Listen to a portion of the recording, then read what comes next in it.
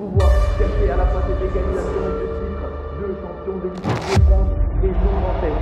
Aomi, Sissoko, Sissoko dans le rond central, arrive. Vous n'êtes pas prêts. Vous n'êtes pas prêt. Vous n'êtes pas prêt. Vous n'êtes pas prêt.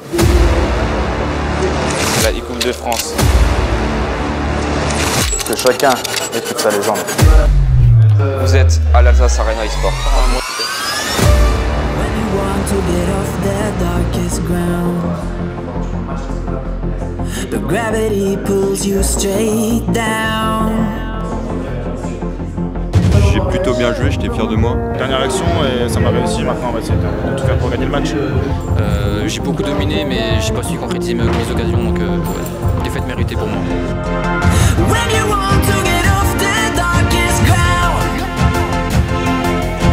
the gravity pulls you. Écoutez, je crois que c'est un événement qui a beaucoup de succès.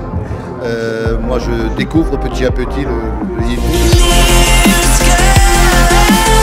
Ouais, c'est la première édition donc euh, qu'on accueille du coup euh, pour cette finale de Grand Est e-Coupe euh, de France et on est ravis du coup bah, d'organiser ça ici à Strasbourg à l'Alsace Sport Arena.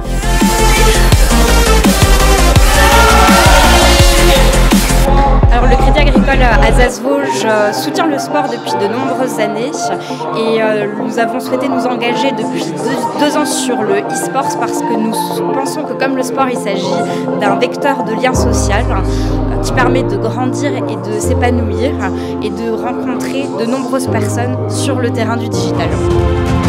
Earth from a bird's eye view.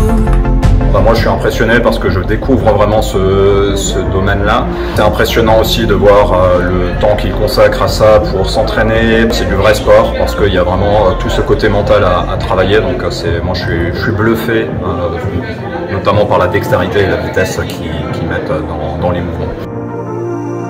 Et nous avons donc notre vainqueur. Nous avons notre vainqueur.